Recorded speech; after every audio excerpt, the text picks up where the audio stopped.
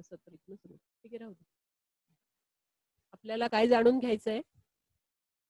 सगळ्या आपल्या front line वर ट्रिपल ए ने काय काम करायचे भागात हे मी सांगणार आहे आज. त्यात आपल्याला काय जाणून घ्यायचंय तर कोविड नाईन्टीन म्हणजे काय? तर covid is CO is corona V I is virus disease D आणि दोन हजार एकोणीस. म्हणजे नोव्हेंबर दोन हजार एकोणीस चायनामध्ये चायनाच्या एका प्रांतात अचानक कोविड व्हायरसचा उद्रेक झाला आणि सगळ्या जगभर पसरला. अशा पद्धतीने आपल्याला हा कोविड नाईन्टीन आजाराबद्दल जाणून घ्यायचा आहे. त्याच्या ज्या संपर्कामध्ये येणाऱ्या माणसाला तो पसरत आहे हा निर्जीव व्हायरस आहे. हा त्यांनी वापरल्या तो जिथं हात लावेल त्या हातावर दिसू शकतोय. जिथं ऍक्च्युली त्याचा कॉन्टॅक्ट होईल. त्या कॉन्टॅक्टच्या जर पेशंट असेल कोरोना व्हायरसचा तर तो कोरोनाचा व्हायरसचा पेशंट खोकल्याने शिंकल्याने तो पसरवतोय. म्हणजे त्या ड्रॉपलेट मधनं तो विषाणू बाहेर येतो. आणि तो जर एखाद्या टेबलवर खुर्चीवर किंवा हँडलवर बसला तर त्यालाच तुम्ही हात लावला तर तो तुम्हाला पसरतो. म्हणजे त्यामुळे आपल्याला अशा ज्या हजारी आपल्या गावात हजारी लोकांमध्ये आहेत त्यांनी सगळ्यांनी आपल्या भागात हे सांगायचं आहे. त्यांनी त्या हजार लोकांच्या प्रत्येकाचे मोबाईल नंबर घरातल्यांची तुम्ही इमर्जन्सी लिस्ट करून ठेवायची आहे. तुमचं जे हजारी पॉप्युलेशन आहे त्याच्यातल्या एका घरात एका घरातल्या कर्त्या पुरुषाचा मोबाईल नंबर याचा इमर्जन्सी लिस्ट म्हणून तुमच्याकडे असला पाहिजे. आणि प्रत्येक तुमच्या आशांचा अंगणवाडी वर्करचा तुमच्या भागातल्या त्या घरात तो नंबर पाहिजे. म्हणजे त्या घरात सुद्धा आशांचा नंबर पाहिजे आणि एन एमचा नंबर पाहिजे आणि तुमचा तुमच्याकडे पण त्या घराचा नंबर पाहिजे. अशी इमर्जन्सी लिस्ट तुम्ही करून ठेवायची आहे. आणि शिवाय जर आता कोरोनाचा पेशंट आहे त्या घरातल्या प्रत्येकाला होम क्वारंटाईन करायचं आहे त्या प्रत्येकाची स्वाबची थ्रोटच्या म्हणजे घशाच्या स्वाबची तपासणी करायची आहे. जर कोरोना पॉझिटिव्ह पेशंट त्या घरात असेल तर. आणि जर लक्षणं असतील त्या पेशंटला सुद्धा तपासायला न्यायचं आहे. हे काम आपण भागातनं करायचंय. म्हणजे तुमच्या हजार पॉप्युलेशनमध्ये एखादा पेशंट जर पॉझिटिव्ह असेल तर त्यातल्या घरातल्यांनी घरातच राहायचं आहे. बिलकुल बाहेर घराच्या पडायचं नाही आहे. त्यांना घरातली स्वच्छतेबद्दल सांगायचं आहे. त्यांच्या कपड्यांची स्वच्छता जर घरात करोनाचा त्यांचा पेशंट आहे आणि त्याला होम क्वारंटाईन ठेवलाय तो तर ऍक्च्युली आयसोलेशनला ऍडमिटच व्हायला पाहिजे. आणि ऍडमिट नंतर सुद्धा चौदा दिवस घरी गेल्यावर त्याला आपण होम क्वारंटाईन ठेवतो. त्या होममध्ये घरात सुद्धा त्याची काळजी काय घ्यायची हे तुम्हाला भागात सांगता आलं पाहिजे. त्याचे सगळे कपडे स्वच्छ धुवायचे धुणाऱ्याने सुद्धा ते गरम पाण्यातनं काढून गरम त्याच्यात वाळवायचे शिवाय त्याला जे एकच माणूस दररोज जेवण आणि सगळं नाश्ता वगैरे देईल त्याची सेवा करणारा. त्याने सुद्धा स्वतः सगळे मास्क लावणे डोळ्याला चष्मा लावणे हे सगळं करून त्याच्याजवळ जायचंय. म्हणजे तुम्ही भागात फिरताना कंटिन्युअस मास्क वापरणार आहात. म्हणजे भागात एखादा तुम्हाला त्याचे काय काय साईन सिमटम्स असतात? कोरोना पेशंटला काय काय होतंय?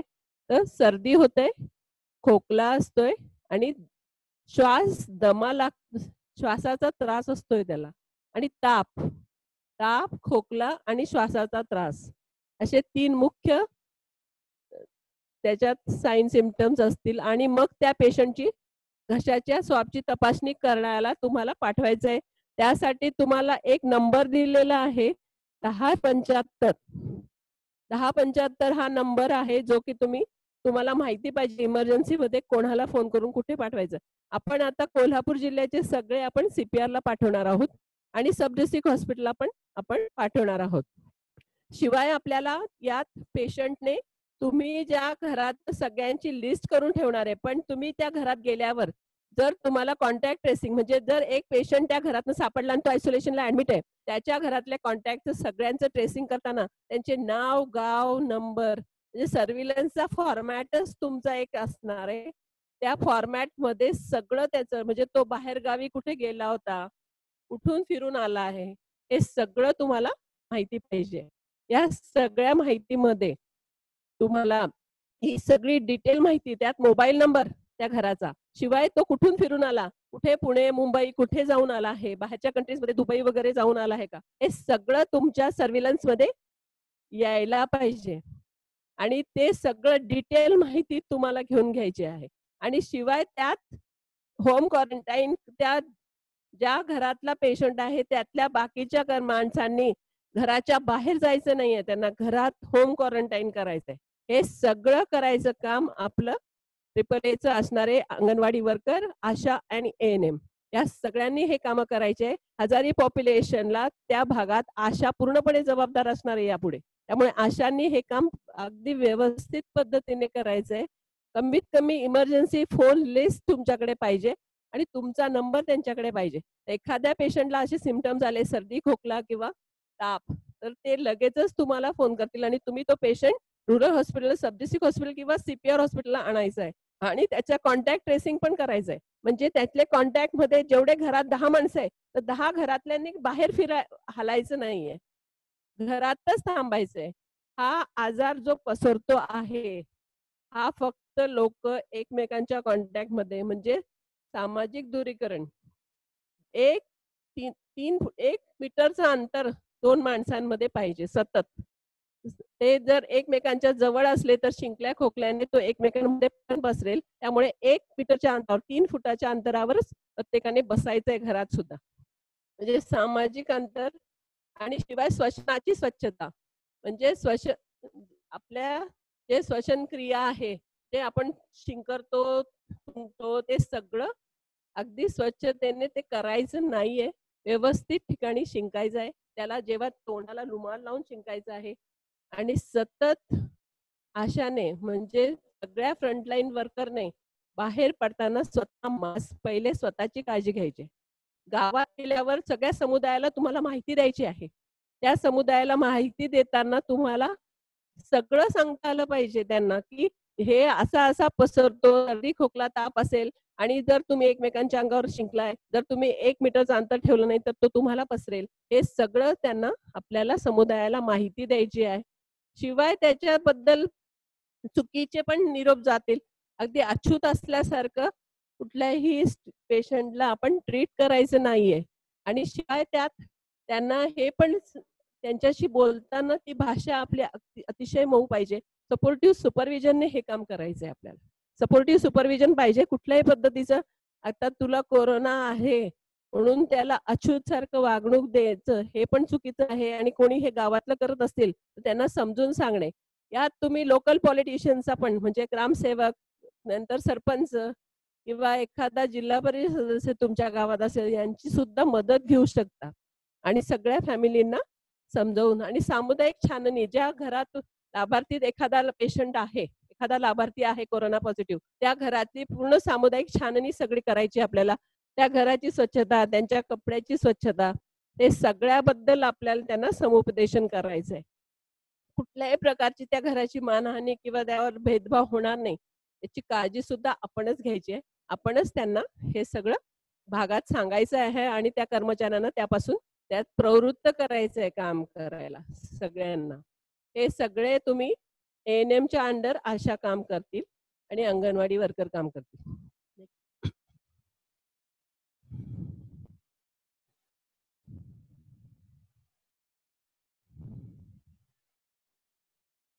त्यात आपल्याला ऍक्च्युली आशा एन एम ने काय काम करायचं आहे तर माहिती कोविडचा उद्रेक आता महाराष्ट्रात आणि कोल्हापूर जिल्ह्यात सुद्धा होत आहे. त्यासाठी आपल्याला प्रतिबंधात्मक आणि नियंत्रणात्मक कार्य करायचं आहे. सर्व्हिलन्सचा फॉर्मॅट तुम्ही स्वतः तुमच्याकडे पाहिजे. प्रत्येक फॅमिलीत तुम्ही कुठनं फिरून आला असेल पुणे मुंबई किंवा बाहेरनं दुबईमधनं वगैरे जे लोक येत आहेत त्यांना बिलकुल होम क्वारंटाईन ठेवायचं त्यांनी घरातनं सुद्धा बाहेर पडायचं नाही. प्रत्येक जण भाजी आणायला कोणी भाग काय आमच्याकडे जेवणच संपलंय हे संपलंय. एकदा मुख्य पंतप्रधानांनी म्हटलं तुम्ही एवढा जो बाजार म्हणून ठेवणार तुम्हीच जगला नाही तर तो बाजार काय उपयोगाचा? म्हणजे बाजार घ्यायची गरज नाहीये. जे आहे घरातलं त्यातच आपलं भागवायचं आहे आणि सगळ्यांनी घरात बसायचं. कुठल्याही प्रकारची काल्पनिक माहिती किंवा गैरसमजुती याचा आढावा घ्यायचा आहे आणि त्याबद्दल सगळ्यांना समजून सांगायचं. हे चुकीच्या समजुती आहे. चुकीचे लोक पसरवत आहेत. कोविड नाईन्टीन हा फक्त तुम्ही घरात एकटे बसला आणि सामाजिक अंतर ठेवलं तीन फुटापेक्षा तर पूर्णपणे कंट्रोलमध्ये येणार आहे. म्हणजे घरात बसायला सांगितलंय. लोक कामं सांगतात. बाहेर जायला फिरवतात. लोक तिथं आजारांमध्ये फिरवतात. तेव्हा तुम्ही करताय. आणि आता घरात बसायला सांगितलं तर कोणी आपल्या हजारी कर्म तुमच्या ज्या हजारी पॉप्युलेशनमध्ये किती लोक घरात बसले याचा सुद्धा तुम्ही आढावा ठेवायचा आहे यात सगळं पोलीस यंत्रणा कलेक्टर आणि सगळे डिपार्टमेंट म्हणजे इंटर डिपार्टमेंटल कम्युनिकेशनमध्ये हे काम चाललंय. पोलीस डिपार्टमेंट होम डिपार्टमेंट हे सगळे आणि आरोग्य डिपार्टमेंट हे सगळे एकत्र मिळून हे काम करतायत. त्यामुळे डिस्ट्रिक्ट एपिडेमिक ऑफिसरची ही मदत घेऊन तुम्ही सगळ्या एस ओ पीज करायच्या आहेत. जर तुम्ही घरात व्हिजिट करणार आहेत तर काय आपल्याला विचारायचं आहे त्याचं एस ओ पी तुमची तयार पाहिजे आणि त्या एस ओ पी नुसारच माहिती कॉन्टॅक्ट ट्रेसिंग त्या घरात किती माणसं आहेत लहान बाळापासून म्हाताऱ्या माणसापर्यंत अति जोखमीच्या माणसांची. म्हणजे यात आता कोविड नाईन्टीन हा सर्दी खोकला ताप होतो शिवाय अति जोखमीची माणसं म्हणजे दोन वर्षाखालील मुलं आणि साठ वर्षावरील म्हातारे यांना सर्वात जास्त म्हणजे घरात तुम्ही यंग मुलं वीस पंचवीस वर्षाचा मुलगा असेल आणि त्याला कोविड जर असेल कोरोना व्हायरस इन्फेक्शन तर त्याला काहीही साईन सिमटम त्याला कुठल्याही प्रकारचा त्रास होणार नाही. तो घरात राहील.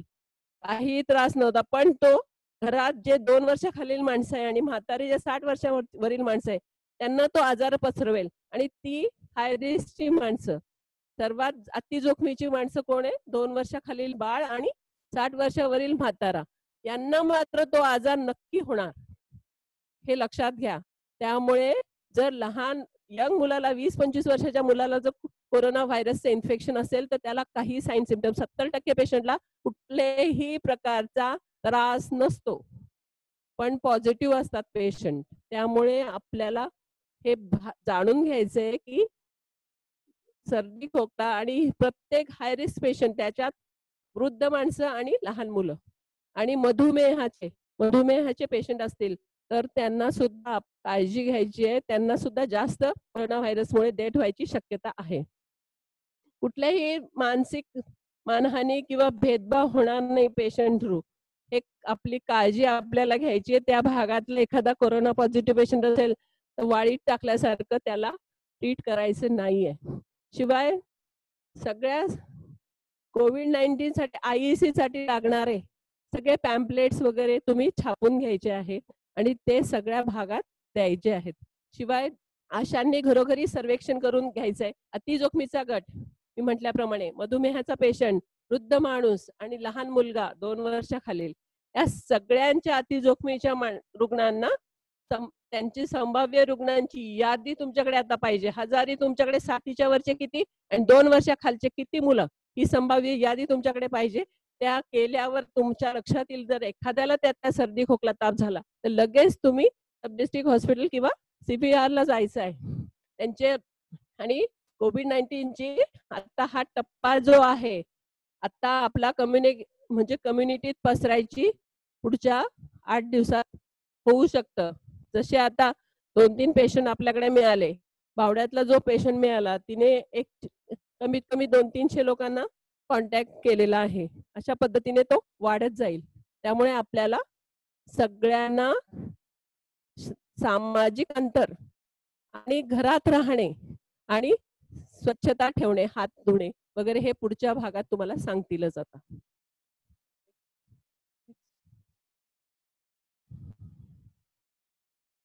आता कोविड नाईन्टीन दोन हजार एकोणीस मी सांगितलं co CO is corona virus corona पीआ is virus D is disease आणि दोन हजार एकोणीस का तर नोव्हेंबर दोन हजार एकोणीसमध्ये चायना या ठिकाणी त्याचा उद्रेक झाला. आता पूर्वी सार्स कोरोना व्हायरस टू आता त्याचं नाव दिलंय. पूर्वी सार्स हा येऊन गेलाय. त्याला सिव्हिअर ऍक्टिव्ह रेस्पिरेटरी सिंड्रोम. त्यात दम लागतोय आपल्याला. श्वासोश्वासाचे त्रास होत आहेत. त्यामुळे त्याला severe acute respiratory syndrome CoV two असे नाव दिलेलं आहे कोरोना व्हायरसच्या आजाराला. आणि यात काय काय होत आहे खोकला सर्दी आणि श्वसनाचा त्रास. आणि हे अति जोखमीच्या लोकांकडे जास्त लक्ष ठेवायचंय. अशाला हजारी पॉप्युलेशनला किती साठीच्या वर्षे माणसं त्यांच्या पॉप्युलेशनमध्ये आहे? आणि दोन वर्षाखालचे किती आहे? आणि मधुमेहाचे किती पेशंट आहे? हे सगळ्यांची यादी करून ठेवायची आहे. अशा पद्धतीने तुम्हाला त्या हजारी पॉप्युलेशनमध्ये जर एखाद्याला दोन वर्ष खालच्या मुलाला सर्दी खोकला झाला तर लगेच डॉक्टरांकडे जाऊन त्याचे आपल्या सीपीआर ला जाऊन किंवा सब डिस्ट्रिक्ट हॉस्पिटलला जाऊन त्याची लगेच तोंड मुखाच्या तोंडाच्या स्वाबची आता आपले काही दिवसात रक्ताची पण तपासणी येईलच. पण तोपर्यंत आपल्याला घशाचा स्वाब घ्यायचा आहे. आणि बरेच त्यातनं मिसकन्सेप्शन कोणी काय पसरवत आहे कोणी काय पसरवत आहे पण कोविड आजाराबद्दल सगळं संशोधन सुरू आहे. त्यामुळे आपल्याला त्याला निदान त्याचं निदान आपल्याला करता येत आहे. पण अजून त्याला काय ट्रीटमेंट करायची एस्पेशली त्याचं किंवा लस त्याच्यावर अजून निघालेली नाही. त्यामुळे सगळ्यांनी कुठल्याही प्रकारचं लक्षण असलेल्या माणसाला लगेचच घशाच्या स्वाबाची तपासणी करायची आहे. पण लक्षणं नसलेल्या कुठल्याही माणसाची पण जो फॉरेन कंट्रीजहून आलाय त्याला आपण होम क्वारंटाईन एक सेपरेट किंवा वॉर्ड क्वारंटाईन आपण जे सीपीआय कोल्हापूरमध्ये केलेत आपण आमच्या हॉस्टेलला केलंय आपण त्यांना चौदा दिवस क्वारंटाईन मध्ये ठेवू. पण त्यांची जर त्यांना काहीही तक्रारी नसतील कुठल्याही प्रकारचा त्रास होत नसेल तर त्यांची कुठलीही तपासणी करायची नाहीये. चौदा दिवस मात्र त्यांना कुठल्याही भागात फिरू द्यायचं नाहीये. पण जर त्यांना जर सिमटम्स असतील तर त्यांच्या तपासण्या व्हायलाच पाहिजे. आणि असा एकाही पेशंट ज्याला सिमटम्स आहे तो जर तुमच्या भागात फिरत असेल तर दररोज तो सहाशे ते सातशे माणसाने इन्फेक्ट करते लक्षात ठेवा. त्यामुळे मग आपलं चायना व्हायला वेळ लागणार नाही. त्यामुळे प्रत्येकाने ही काळजी घ्यायची पुढे. आता मी सत्र दोन डॉक्टर सातारकर सरांना हँड ओव्हर करते.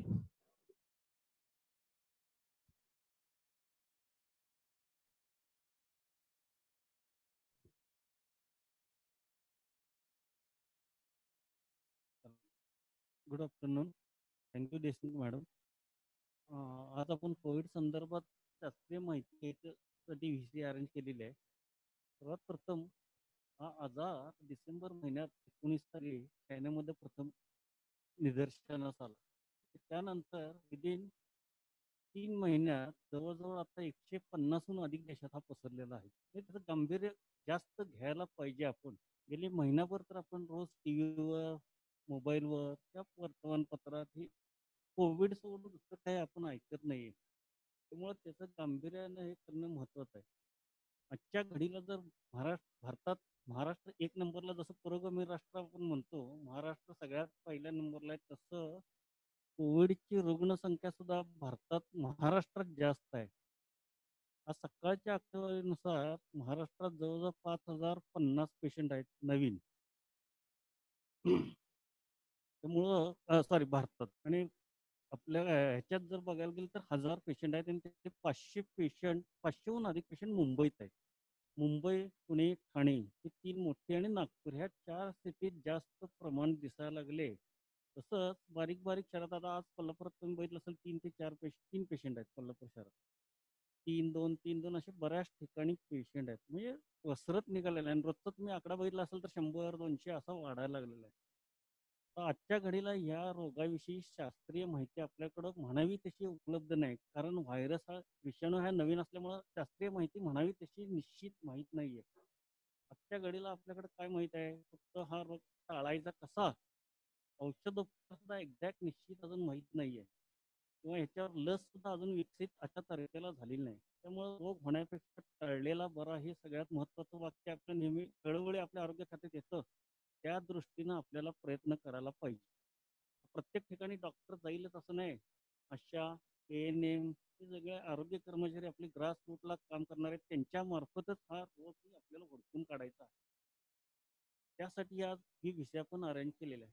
तर सगळ्यात महत्वाचं देशमुख मॅडमनं सांगितलं तसं लक्षण एक दोन चार लक्षात ठेवली तर आपल्याला सर्वसाधारणपणे माहिती होईल. सगळ्यात महत्वाचं आहे लक्षणं असतात ती श्वसन संस्थेच्या आधारित सगळी लक्षणं असतात.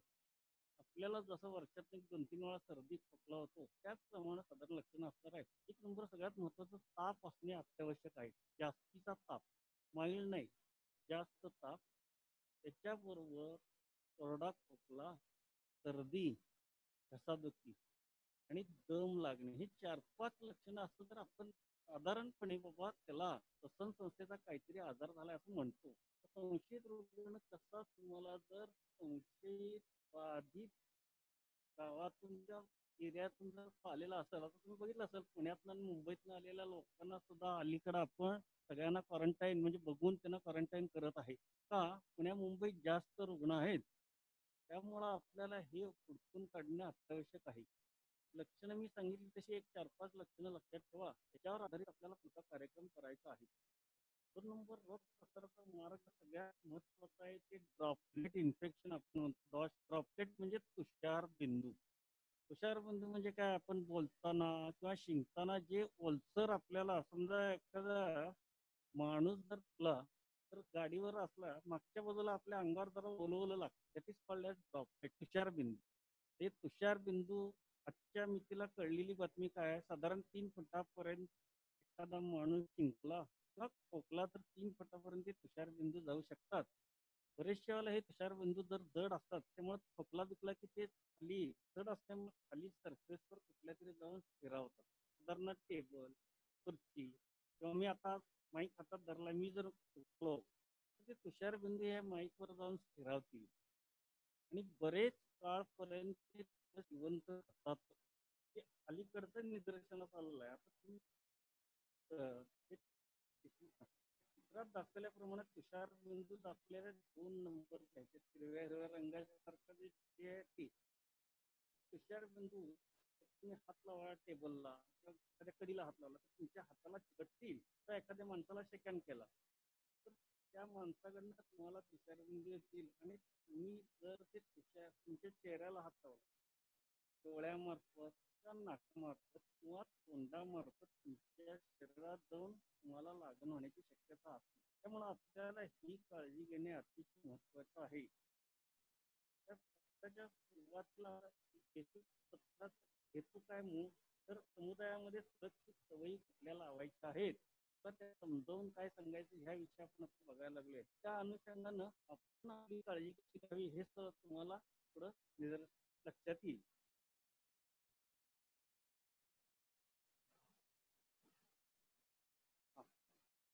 तर महत्त्वाचा पार्ट आहे की आपल्या हातांची स्वच्छता कशी करायची ते आहे.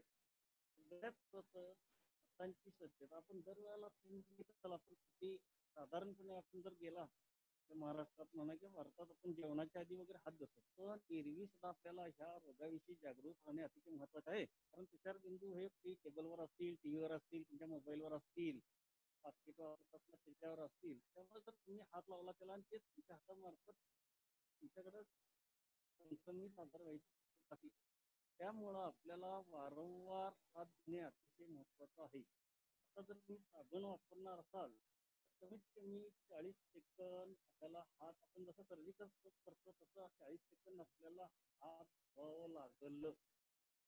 आपल्या हात धुताना सगळ्या आशांना माहीत आहे की तुमचं जाणं आहे माशाचं त्याचप्रमाणे दुसरं एक नवीन सुमन म्हणजे नावाचा एक शब्द काढलेला आहे. एस एम ए एन मन म्हणजे इंग्लिश अक्षर आपण मराठी त्यांनी केले एस फॉर सरळ तर म्हणजे म्हणजे आपण एकमेकाला विरुद्ध दिशेला त्याच्या मागच्या बरोबर. मिळणार आहे ते मूठ. म्हणजे नख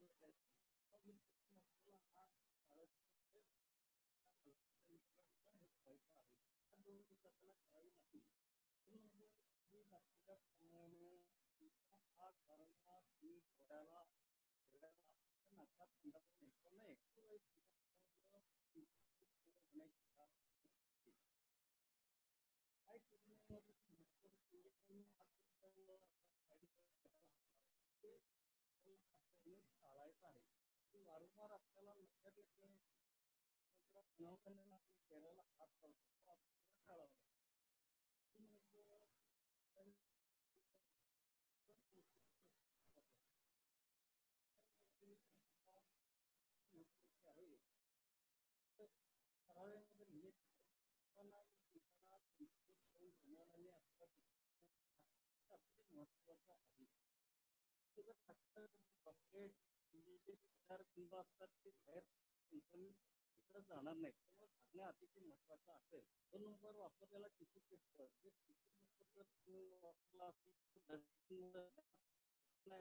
आणि अतिशय महत्वाचं आहे नंबर जर कधी तुमच्याकडे समजा रुमाल बिमाल नसेल तर हात झुमडा आणि हाताच्या म्हणजे होणार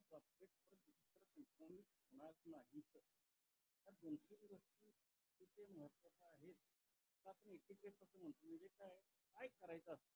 नॉर्मली आपण काय करायला पाहिजे ते सांगितलं. काय करू नये दुसरं सगळ्या बाजूला आहे साडीचा पदर किंवा उधणी किंवा एखादं फडकं याचा वापर करण्यासाठी करणं सगळ्यात महत्वाचं तुम्ही तसं केलं तर जंतू संसर्ग दुसऱ्याला होण्याची दाट शक्यता आहे. आपल्या भारतवर्षात किंवा महाराष्ट्रात उघड्यावर कुंकून नये अतिशय महत्वाचं आहे. कुंकला तर शंभर टक्के रॉकेट इन्फेक्शन दुसरीकडे जाणार.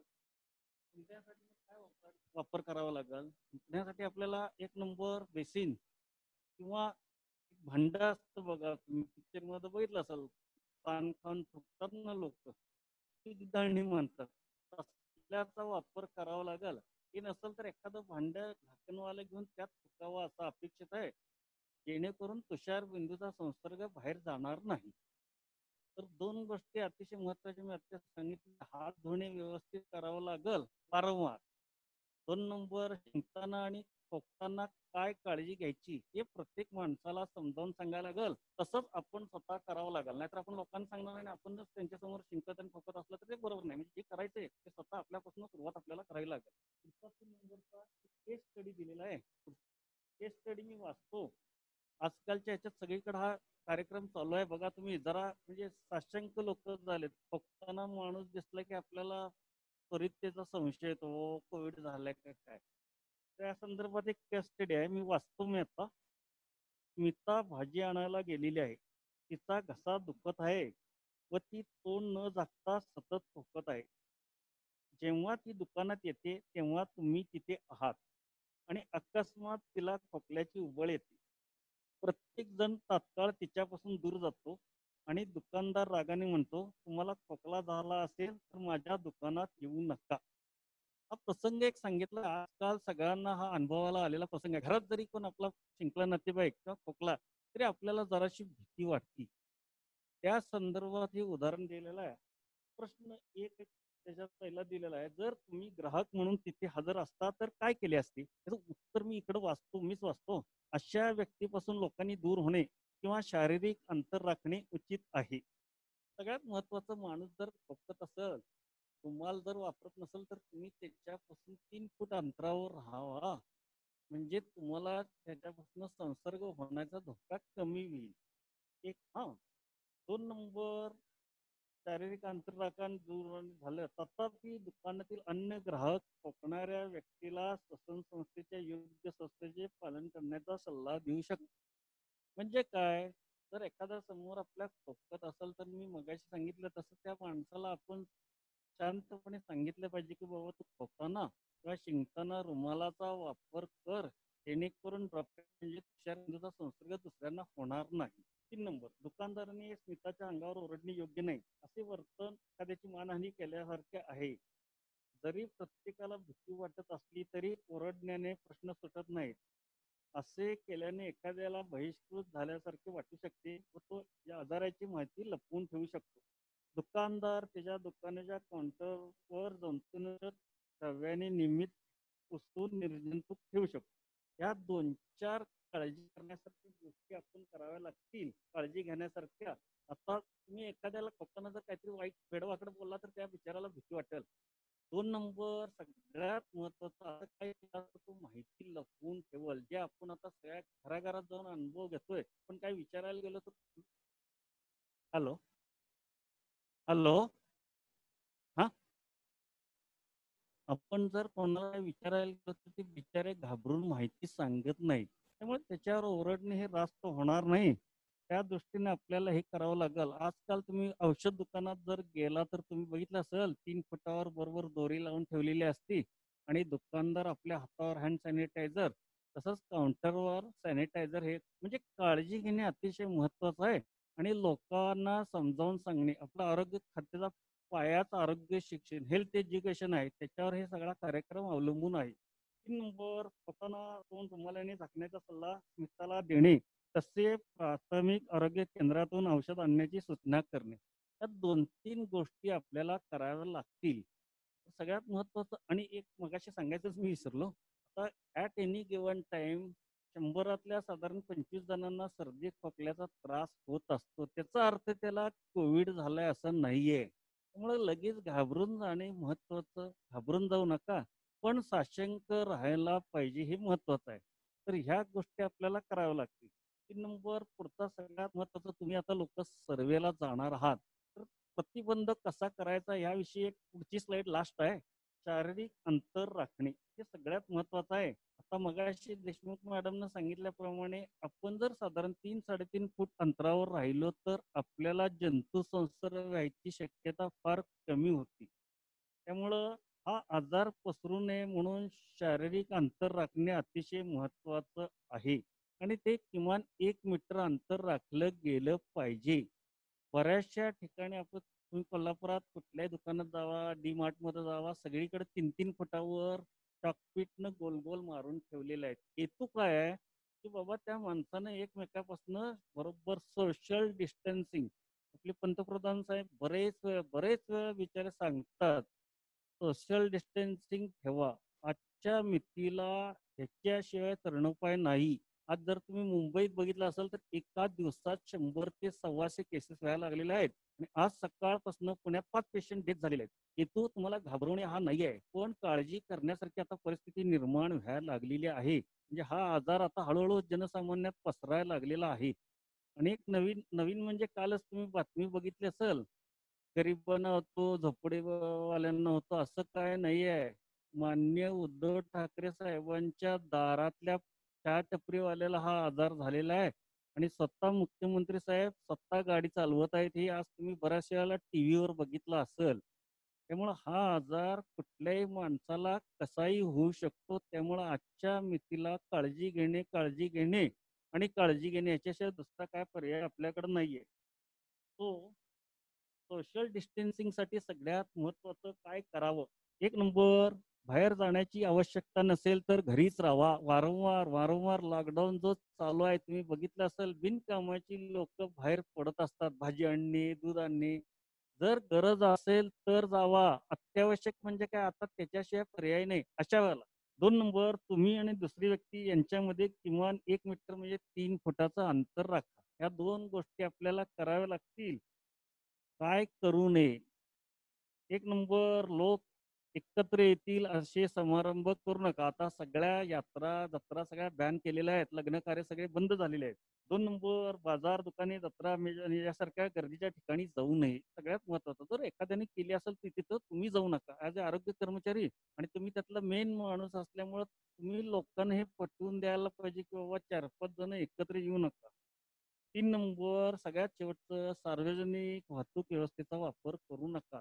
जसं मी सांगितलं तुम्ही जर एकत्र बसलेला असाल शेजारी माणसाला काय झालंय काय नाही हे तुम्हाला माहीत नसेल. त्यामुळे त्यापासून आपल्याला धोका आहे. तो ह्या दोन तीन चार गोष्टी जर आपण केल्या तर आपल्याला हा आजार टाळता येईल. परत आजच्या घडीला प्रतिबंध हा सगळ्यात महत्त्वाचा आपल्याकडं शिल्लक असलेला पर्याय आहे. लास्ट अधिक जखमीचे गट. देशमुख मॅडमनं सांगितले तसे दोन तीन प्रकार त्यात आहेत. जखमी म्हणजे काय? ज्याला जास्त व्हायची शक्यता आहे. जसं आपण स्वाईन फ्लूच्या बाबतीत बघितलं वय कमी असेल त्याची प्रतिकार शक्ती व्यवस्थित नसणार त्या बाळाला आजार होणार. वय जास्त आहे प्रतिकार शक्ती व्यवस्थित नाही त्यांना आजार होणार. डायबेटीस म्हणजे मधुमेह आहे.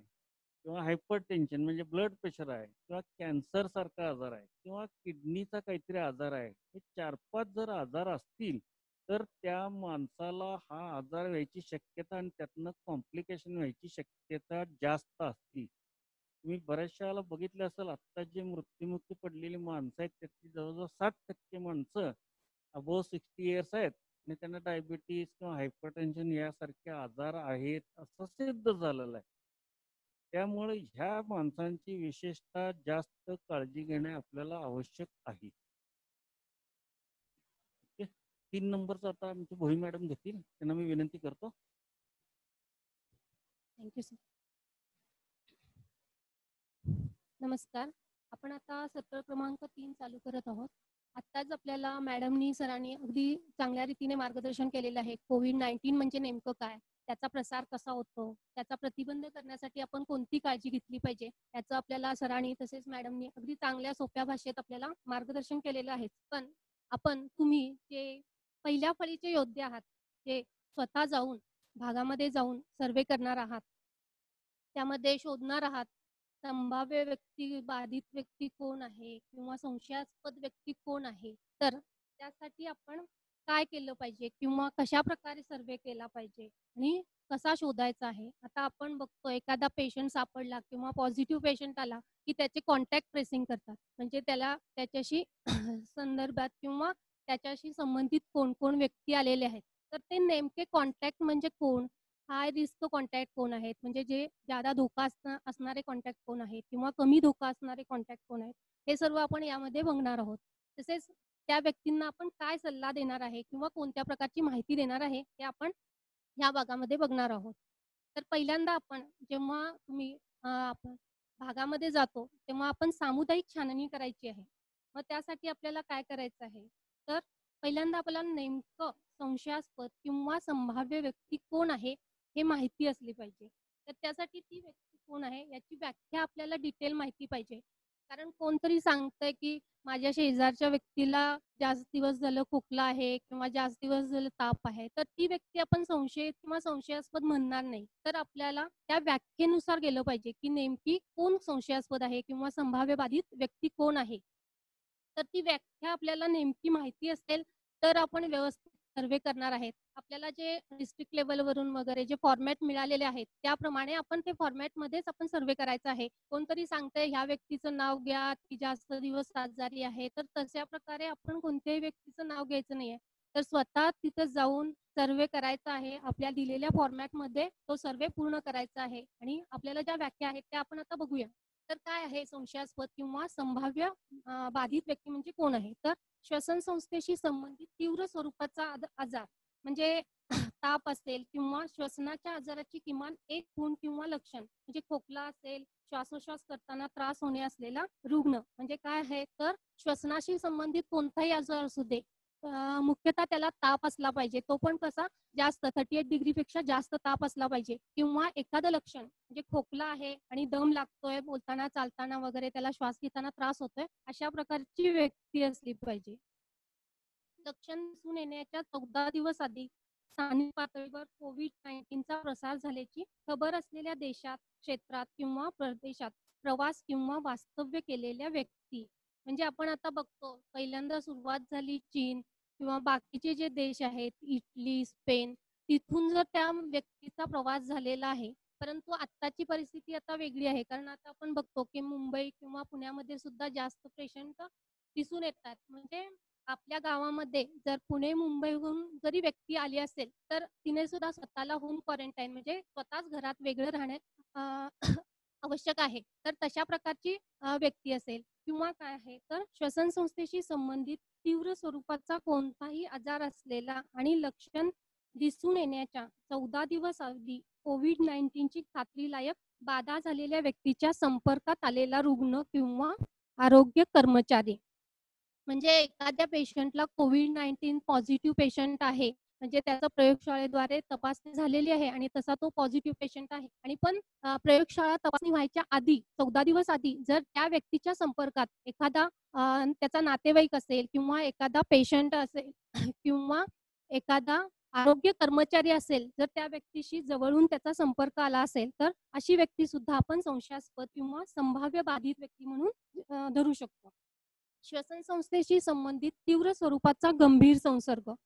ताप आणि श्वसनाच्या आजाराची किमान एक खूण किंवा लक्षण उदाहरणार्थ खोकला श्वासोश्वास करताना त्रास होणे असलेला किंवा रुग्णालयात दाखल होण्याची आवश्यकता असलेला रुग्ण म्हणजे गंभीर स्वरूपाचा श्वसनाच्या संबंधित आजार असलेली व्यक्ती. कोविड नाईन्टीनच्या तपासणीचे निदान संदिग्ध आहे. म्हणजे तो संशयित आहे आणि त्याचा प्रयोगशाळेत तपासणीसाठी पाठवलेला आहे. परंतु त्याचा रिपोर्ट अजून आलेला नाहीये किंवा आपल्याला त्याबद्दल खात्री नाही आहे की तो नेमका पॉझिटिव्ह आहे किंवा निगेटिव्ह आहे. अशी व्यक्ती किंवा प्रयोगशाळेद्वारे पुष्टी मिळालेली व्यक्ती वैद्यकीय खुणा व लक्षणे दिसून आली नसली तरी प्रयोगशाळेद्वारे कोविड नाईन्टीनचा संसर्ग झाल्याची पुष्टी मिळालेली व्यक्ती म्हणजे कोविड नाईन्टीनचा पॉझिटिव्ह पेशंट आहे म्हणजे प्रयोगशाळेद्वारे त्याची रिझल्ट आपल्याला कळलेला आहे परंतु त्या व्यक्तीला कोणत्याही प्रकारची म्हणजे त्रास नाहीये त्याला खोकला नाहीये ताप नाहीये परंतु त्याचा जर पॉझिटिव्ह रिपोर्ट असेल तर ती व्यक्ती सुद्धा आपल्या या व्याख्यामध्ये बसते. तर नंतरची व्याख्या काय आहे? तर संपर्कात आलेली व्यक्ती कोण आहे? म्हणजे कॉन्टॅक्टमध्ये कोणत्या कोणत्या व्यक्ती आल्या? तर ते काय बघायचं आहे तर आपण बघूया. बाधित व्यक्ती खालीलपैकी कोणत्याही एका गोष्टीशी संबंधित असते. योग्य वैयक्तिक संरक्षण उपकरणाशिवाय कोविड नाईन्टीनच्या रुग्णांची प्रत्यक्ष शुश्रूषा करणे म्हणजे एखादा पेशंट ऍडमिट आहे किंवा तो घरामध्ये आहे आणि त्याची सर्व प्रकारची सेवा एखाद्या व्यक्तीने नातेवाईकाने किंवा आरोग्य कर्मचाऱ्याने केलेली आहे पण त्याच्याजवळ आवश्यक ते पर्सनल प्रोटेक्टिव्ह इक्विपमेंट म्हणजे गॉगल नाही ऍप्रन नाहीये किंवा ग्लोव्ज नाहीयेत अशा प्रकारे विदाऊट पीपीई जर त्या रुग्णाने रुग्णाची काळजी घेतलेली असेल तर अशा प्रकारची व्यक्ती आपण संपर्कात आलेली व्यक्ती म्हणजे कॉन्टॅक्ट म्हणू शकतो. कोविड नाईन्टीनच्या रुग्णाच्या सानिध्यात राहणे यामध्ये कार्यालय वर्ग घर समारंभ यांचा समावेश आहे. म्हणजे कोविड नाईन्टीनचा पेशंट आहे म्हणजे काय तो नंतर पॉझिटिव्ह आलाय. पण त्याच्या आधी जर त्या व्यक्तीने एखादा कार्यक्रम समारंभ अटेंड केलेला आहे किंवा तो ऑफिसमध्ये आपल्या बरोबर काम केलेला आहे किंवा घरामध्ये एकमेकांशी त्यांचा सहवास आलेला आहे तर अशा प्रकारची व्यक्ती कॉन्टॅक्ट म्हणून आपण पकडू शकतो. संसर्गाची लक्षणे दिसून आल्यानंतर व नंतर कोविड नाईन्टीनचे निदान झालेल्या व्यक्तीच्या सानिध्यात शारीरिक अंतर न राखता एक मीटरपेक्षा कमी प्रवास करणे. म्हणजे कोविड नाईन्टीनची लक्षणे दिसून आलेली आहेत आणि नंतर त्याचं निदान झालेले आहे आणि त्या व्यक्तीबरोबर जर एक मीटरपेक्षा कमी अंतर राखून जर त्याबरोबर प्रवास झालेला असेल तर ती व्यक्ती सुद्धा आपण संपर्कात आलेली व्यक्ती म्हणून धरू शकतो. म्हणजे हे सर्व कॉन्टॅक्ट आहेत. तर तर हे जे संपर्कात आलेले व्यक्ती आहेत किंवा तर त्यामध्ये अधिक धोकादायक कोण आहे आणि कमी धोकादायक कोण आहे हे आपण बघूया. अधिक धोकादायक म्हणजे काय? तर त्या व्यक्तीशी अगदी डायरेक्ट विदाउट पीपीए म्हणजे पर्सनल प्रोटेक्टिव्ह इक्विपमेंट न घेता त्या रुग्णाशी ज्या ज्याचा जर कॉन्टॅक्ट आला असेल त्या व्यक्तीची सेवा शुश्रूषा करताना जर श्वसन मार्गातील स्त्राव असू दे रक्त असू दे वांती लाळ लघवी विष्ठा याची स्वच्छता करताना वगैरे त्या स्रावांचा स्पर्श झालेला असू शकतो. रुग्णाच्या थेट शारीरिक संपर्कात येणे हस्तांदोलन करणे मिठी मारणे व शुश्रूषा करणे. म्हणजे रुग्णाशी थेट शारीरिक संपर्क. गेल्या गेल्या जर हात मिळवणी केली आपण बघतो जवळजवळ हे हस्तांदोलन केलं किंवा एकमेकांना नुसती टाळी दिली तरी जवळजवळ नव्वद मिलियन जंतू हे एकमेकांशी वेगळ्या संपर्कात येऊ शकतात. म्हणजे जर हाताला आपल्या टाळी दिली तरी दुसऱ्या हातावर त्यांच्या हातावरचे जंतू जवळजवळ नव्वद मिलियन जंतू आपल्या हातावर येऊ शकतात. रुग्णाच्या चादरी कपडे वा भांड्यांना स्पर्श करणे वा धुणे म्हणजे काय होतंय आता रुग्ण जी चादर वापरत असेल जर रुग्ण खोकला असेल शिंकला असेल ते जे ड्रॉपलेट्स असतात ते त्याच्या चादरीवर किंवा कपड्यांच्यावर किंवा ते जे वापरत असेल त्या भांड्यांच्यावर पडू शकतात. व तेथेच ते सेटल होतात. म्हणजे ते रुग्णाच्या चादरी वा कपडे किंवा भांडी ही फार धोकादायक. मग ती जर धुण्यासाठी वगैरे वापरली गेली असेल तर त्या व्यक्तीला तो ते धोकादायक असू शकतं. रुग्णाबरोबर एकाच घरात राहणे. म्हणजे जर माहितीच नसेल आपल्याला तो रुग्ण आहे नंतर जर पॉझिटिव्ह आला असेल तर त्याच व्यक्तीबरोबर आपण संपर्कात जवळ असू शकतो. ते सुद्धा अतिशय धोकादायक आहे. बाधित व्यक्तीच्या जवळ असणे एक मीटरपेक्षा कमी अंतर. जेव्हा कोविड नाईन्टीन पॉझिटिव्ह पेशंट आहे आणि त्याच्या जर अगदी आपण जवळ असेल तर कारण खोकल्यावर किंवा शिंकल्यावर एक मीटरच्या आतमध्ये जे ते ड्रॉपलेट्स आहेत ते पडतात. त्यामुळे जर एक मीटरपेक्षा कमी अंतर असेल तर ते अधिक धोकादायक आहे. वाहतुकीच्या साधनामध्ये सहा तासाहून अधिक काळ आजाराची लक्षणे असलेली व्यक्ती जी नंतर कोविड नाईन्टीन ने बाधित असल्याचे निदान होते. तिच्या जवळ एक मीटरपेक्षा कमी अंतर असलेले प्रवासी म्हणजे कसं असतं आपण प्रवास करताना आपल्याला माहीत नसतं की तो शेजारची व्यक्ती पॉझिटिव्ह आहे किंवा नाही आहे. पण नंतर तिचं जर निदान झालेलं आहे पॉझिटिव्ह आहे तर आणि जर तिच्या जवळ आपण बसलेलो असेल एक मीटरपेक्षा कमी अंतर आहे तर ते आपल्यासाठी धोकादायक असू शकते. मग दुसरं गोष्ट काय आहे तर कमी धोकादायक म्हणजे विनाकारण सुद्धा फार लोक बाऊ करतात की नाही नाही आम्ही तिकडून आलो इकडून आलो त्या पेशंटच्या घराजवळून आलो. तर ते घराजवळून आलो म्हणजे लगेच आपल्याला आजार होणार आहे असं नाहीये. तर कसं आहे तर एका ठिकाणी सानिध्यात असणे शाळेत एकाच वर्गात एकाच खोलीत काम करणे तत्सम आणि कोविड नाईन्टीनने बाधित व संशयित नसलेल्या व्यक्तीच्या संपर्कात येणे. म्हणजे आपण आता एका वर्गात काम करतोय किंवा एका ऑफिसमध्ये काम करतोय जर तिथं कोविड नाईन्टीनचा पेशंटच नसेल तर ते काही आपल्याला धोकादायक नाही आहे पण कसं होतं गर्दीच्या ठिकाणी आपण जाऊन आलो की आपल्याला टेन्शन येतं की आपल्यालाही काहीतरी होईल कोणतरी त्यातला पॉझिटिव्ह असेल तर ते सुद्धा मनात आपण ते धरून ठेवायचंच असते. कुठेही गर्दीच्या ठिकाणी वगैरे जायचंच नाही कारण थोडा जरी कमी जरी धोका असला तरी तो धोका हा धोकाच आहे. एकाच वातावरणात प्रवास करणे बस ट्रेन विमान वाहतुकीचे कोणतेही साधन परंतु संसर्गाचा धोका नसणे म्हणजे बस ट्रेन किंवा कोणत्याही वाहनाने आपण प्रवास केलेला आहे परंतु त्यामध्ये जर हा पॉझिटिव्ह पेशंट नसेल तर एकत्र व्यक्ती येणे एकत्र जास्त व्यक्ती येणे हा एक प्रकारचा धोकाच आहे परंतु तो थोड्या कमी प्रमाणात आहे.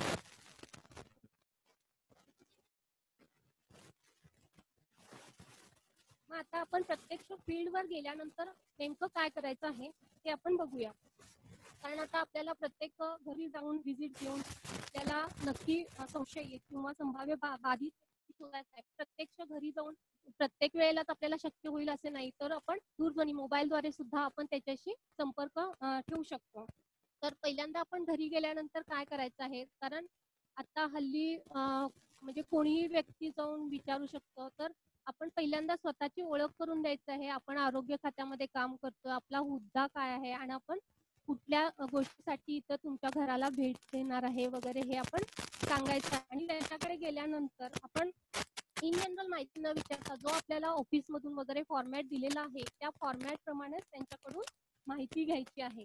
संपर्कात आलेल्या व्यक्तीचा शोध घेताना व्यापक जनसंपर्क आणि आजाराची लक्षण दिसून आल्या दिसून आल्यानंतरच्या अठ्ठावीस दिवसातील प्रवासाची माहिती यांचा समावेश करायचा. म्हणजे त्या फॉर्मॅटमध्ये आपल्याला काय करायचं आहे तर त्याचा कुणाकुणाशी संपर्क आलेला आहे? किंवा अठ्ठावीसमध्ये आजाराची लक्षणे दिसून आल्यानंतर त्याचा प्रवास कुठे कुठे झालेला आहे? याबाबतची माहिती घ्यायची आहे.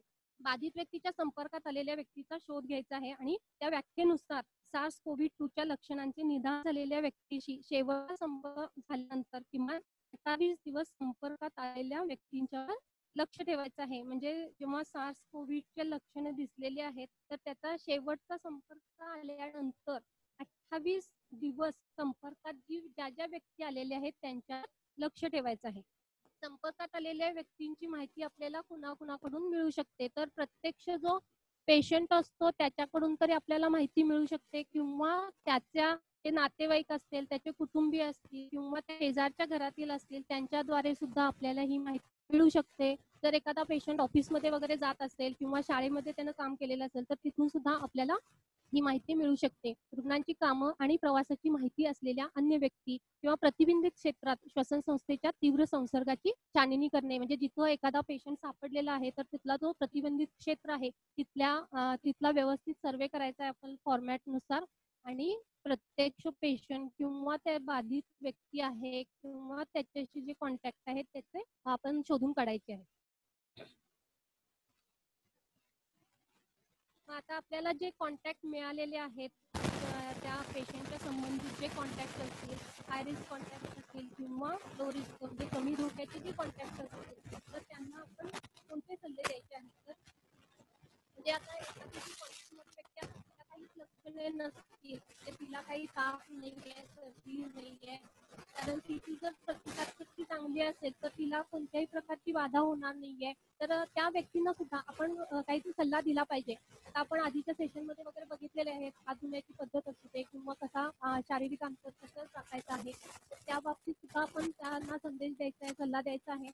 बाधित व्यक्तीच्या शेवटच्या संपर्कात आल्यानंतर किमान अठ्ठावीस दिवस घरामध्ये विलगीकरण करायचं आहे. म्हणजे जर एखादी जवळच्या जवळची कॉन्टॅक्ट आलेली असेल तर त्याला अठ्ठावीस दिवस घरातल्या घरातच एका वेगळ्या रूममध्ये वगैरे त्या पेशंट त्या व्यक्तीला ठेवायचं आहे. म्हणजे जेणेकरून ती व्यक्ती घरातील इतर व्यक्तींच्या संपर्कात येता कामा नये. मग त्या व्यक्तीला जी रूम देणार आहे ती सुद्धा चांगली व्हेंटिलेटेड वगैरे असली पाहिजे. आणि शक्यतो जर संडास बाथरूम वगैरे वेगळं असलं तर ती चांगली गोष्टच आहे. ताप किंवा खोकल्याच्या सारख्या लक्षणावर तसेच स्वतःच्या प्रकृतीकडे लक्ष ठेवा आणि दररोज संपर्कात येणाऱ्या व्यक्तींची यादी ठेवा.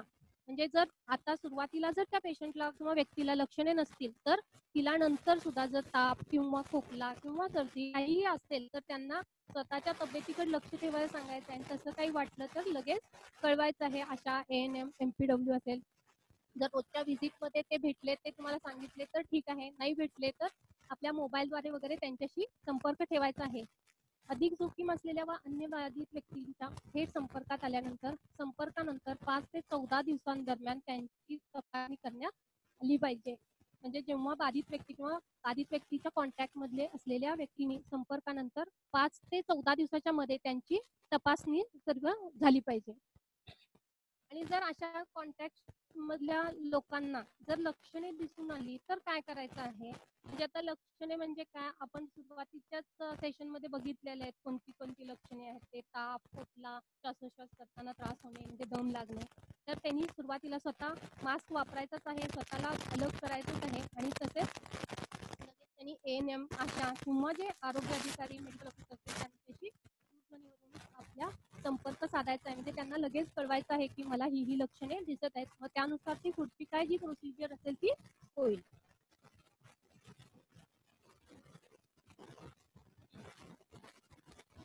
तर आपण एक आता उदाहरण बघूया.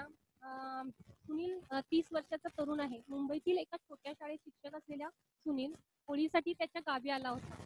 सुनीलला सार्स कोविड टू चा संसर्ग झाल्याचे निदान झाल्यामुळे आता त्याचे कुटुंबीय काळजीत पडले असेल.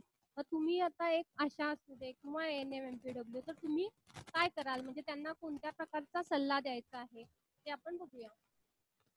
सुनीलचे सर्व कुटुंबीय देण्यात आलेल्या सल्ल्याचे काटेकोरपणे पालन करत असल्याची खात्री करून देणे म्हणजे जे आपण पूर्वी सल्ला त्यांना दिलेला आहे हात धुण्याचा असू दे किंवा एकमेकांच्या मध्ये अंतर किती ठेवायचं त्या प्रकारचं त्यांनी अंतर वगैरे ठेवतात का? स्वतः स्वतःची काळजी घेतात की नाही हे बघायचं आहे. त्यांना मदतीची गरज असल्यास पाठपुरावा करायचा आहे विलगीकरणामध्ये कुटुंबियांना किराणा माल व भाज्या यासारख्या दैनंदिन गरजेच्या वस्तू वेळेवर मिळाव्यात याची व्यवस्था व्यवस्था करणे. कारण कसं होतंय एखादा जर कोविड नाईन्टीनचा पेशंट सापडला तर त्याला लोक वाढीत टाकल्यासारखं करतात. मग असं करणं चुकीचं आहे. मग त्यांना जे जीवनावश्यक वस्तू आहेत त्या तरी त्यांच्यापर्यंत पोहोचतात की नाही याची आपण खात्री केली पाहिजे. जर मिळत नसतील तर त्याची व्यवस्था केली पाहिजे. योग्य रीतीने त्यांच्यापर्यंत जीवनावश्यक वस्तू पोहोचल्या पाहिजेत. त्यांना हाताच्या स्वच्छतेची श्वसन संस्थेच्या स्वच्छतेची माहिती आहे का हे जाणून घ्यायचं आहे. बाधित व्यक्तीने वापरलेले कपडे आणि घरातील वस्तू जंतुनाशक वापरून स्वच्छ करण्यात आल्या आहेत का? हे तपासणे. म्हणजे जे बाधित व्यक्तीने वापरलेले कपडे आहेत ते मॅडमनी सांगितलेलंच आहे. आपल्याला गरम उकळत्या पाण्यात मध्ये वगैरे ते स्वच्छ धुवून काढायचे आहेत आणि प्रखर सूर्यप्रकाशात वगैरे ते वाळत घालायचे आहेत. नंतर मोबाईलवरून कुटुंबियांच्या सतत संपर्कात राहणे तसेच कुटुंबियांच्या मित्र परिवाराला असा संपर्क साधण्यास प्रोत्साहन देणे. त्यामुळे कुटुंबियाला अलगीकरणात येणारा एकाकीपणा सुसह्य होईल. म्हणजे जर एखादं पे विलगीकरणात असेल तर त्यांना एकमेकांशी नंबर कॉन्टॅक्ट नंबर द्यायचे आहेत आणि मोबाईलद्वारे त्यांचं कसं तिथलं आयुष्य म्हणजे सुसह्य राहील. कारण ते एकटे पडल्यासारखे झालेले असतात. तर निदान फोनद्वारे त्यांच्याशी संपर्क साधायचं आहे त्यांच्या नातेवाईकांना किंवा मित्र परिवाराला सुद्धा सांगायचं आहे की त्यांना फोन करून त्यांची खुशाल वगैरे विचारत जावा म्हणून. Thank you doctor Deepak Pawar hello doctor Deepak Pawar hello UNICEF consultant doctor Deepak Pawar hello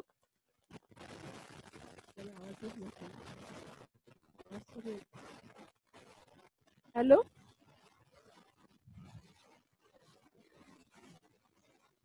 Doctor Pawar? तुम्ही VC ला जॉईन आहात ना sir hello? Doctor Deepak Pawar? Hello? हा, काय बघून घ्यायचं.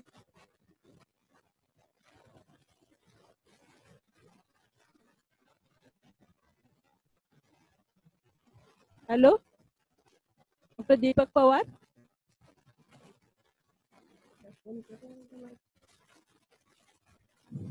Hello doctor Deepak Pawar सत्र चार तुम्ही सुरू करताय ना?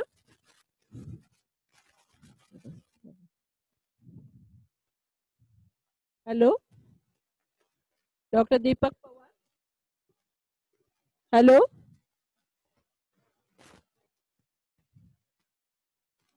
Doctor Deepak Pawar. व्यस्त आहे म्हणते. फोनवर हॅलो, डॉक्टर दीपक पवार? तुम्ही सत्र चार सुरू करताय का? Hello?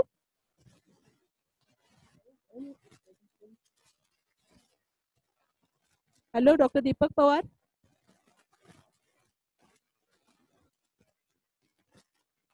hello hello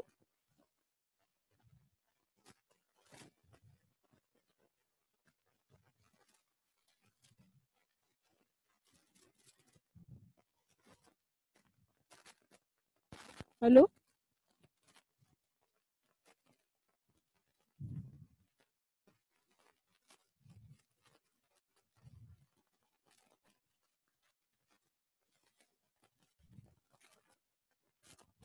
hello?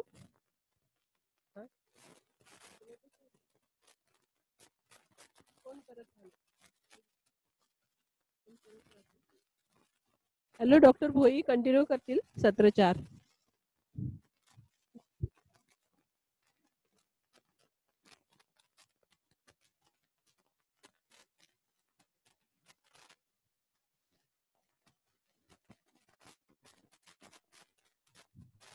नमस्कार.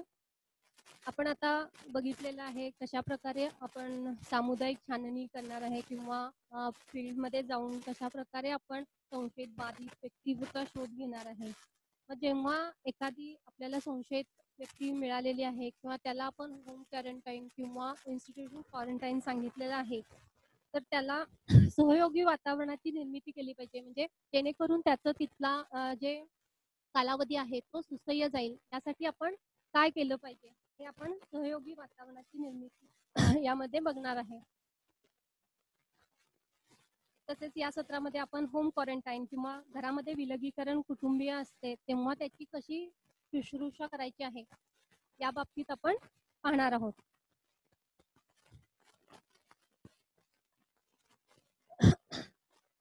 तर त्यासाठी आपण काय करायचं आहे तर समाजातील प्रभावी व्यक्तींशी बोलायचं आहे आणि त्यांना सामील करून घ्यायचं आहे म्हणजे समाजातील आता प्रभावी व्यक्ती म्हणजे कोण आहे? जेणेकरून गावामधील लोक एखाद्या विशिष्ट व्यक्तीचे जर ऐकत असतील तर तो मग धार्मिक गुरु असतील किंवा देवळातील पुजारी असेल किंवा सरपंच असेल किंवा एखाद्या मशिदातील मौलवी असतील तर त्यांच्याशी आपण संपर्क साधायचा आहे आणि त्यांना आपण सहकार्य करण्यासाठी आपण त्यांना विनंती करायची आहे. तर काय करायचं आहे? तर स्थानिक प्रभावी व्यक्तींची पहिल्यांदा आपण यादी करायची आहेत. म्हणजे कोण कोण या गावामध्ये म्हणजे जेणेकरून लोक त्यांचं ऐकतात. या लोकांची आपण सुरुवातीला यादी करायची आहे. मग त्यामध्ये सरपंच असू देत धार्मिक गुरु असू देत शिक्षक असतील. मग त्यांना परिस्थितीची कल्पना द्यायची आहे आणि त्यावर चर्चा करायची आहे. नियम आदेश सूचनांची माहिती द्यायची आहे. आणि या बाबतीत आपल्याला सामाजिक संघटनांची सुद्धा मदत घेता येईल. म्हणजे जेणेकरून गावामध्ये जे तरुण मंडळे असतात महिला बचत गट असतात त्यांची सुद्धा आपल्याला मदत घेता येईल. म्हणजे एखाद्या गावामध्ये जर संशयित बाधित व्यक्ती साप मिळाली असेल होम क्वारंटाईन किंवा त्याचं जर संस्थेमध्ये विलगीकरण केलं असेल तर त्याच्यासाठी आपण समाजातील गावामधील प्रभावी व्यक्तींची मदत घेणार आहे अधिक जोखीम असलेल्या गटांसाठी सामुदायिक मदतीचे नियोजन करायचे आहे. आता आपण पूर्वीच्या सेशनमध्ये बघितलेलंच आहे. अधिक अधिक जोखीम गटमध्ये कोण येतात तर अधिक जोखीम गटामध्ये कोण येतात तर अयोग्य म्हणजे काय आहे? तसेच उच्च रक्तदाब मधुमेह फुफ्फुस किंवा मूत्रपिंडाचा विकार यासारखे आजारी असलेल्या व्यक्ती तर ह्या अधिक जोखीम असलेले जे गट आहेत त्यांची सुद्धा आपण यादी तयार करायची आहे. म्हणजे वृद्ध व्यक्ती जे साठ पासष्ट वयाच्या ज्या वृद्ध व्यक्ती आहेत त्यांची यादी सेपरेट तयार करायची आहे. कुणा कोणाला कोणते आजार आहेत किंवा एखाद्याला फुफ्फुसाचा आजार आहे मूत्रपिंडाचा आजार आहे तर त्याची सेपरेट यादी करून त्यांच्या घरातील लोकांना आपण सांगायचं आहे की त्यांच्याकडे कशा प्रकारे लक्ष द्यायचं आहे. त्यांच्या पालकांचे विलगीकरण करण्यात आलेले आहे अशा मुलांचे शिक्षण व संगोपन कार्ड या संगोपन याकडे लक्ष द्या. म्हणजे कसं होतंय एखाद्या वेळेला आई वडील दोघंही बाहेर गावाहून प्रवास किंवा बाहेर फॉरेनहून प्रवास करून आले आणि त्यांचं जर विलगीकरण झालेलं आहे म्हणजे त्यांना वेगळ्या संस्थेमध्ये वगैरे ठेवण्यात आलेलं आहे तर त्यांच्या मुलांच्याकडे ते दुर्लक्ष होणार आहे. त्यामुळे कसं होणार आहे आई वडिलांचं सुद्धा व्यवस्थित लक्ष लागणार नाही किंवा मुला आपल्या मुलांच्याकडे कोण लक्ष देते किंवा नाही. त्यामुळे सामाजिक भान राखणे अतिशय महत्वाचं आहे. आपल्याला समाजातील विविध घटकांचा घटकांचं सहकार्य घेऊन आपण ते सुसह्य कसं करायचं आहे याकडे बघणार आहे. मदतीसाठी अस्तित्वात असलेल्या सामाजिक संघटनांशी समन्वय साधायचा आहे. म्हणजे आजकाल आपण बघितलेलं आहे की बचत गट असू दे तरुण मंडळ असू दे किंवा ग्राम आरोग्य स्वच्छता पोषण दिन ची जी कमिटी असते यांचं सुद्धा आपण मदत घ्यायची आहे.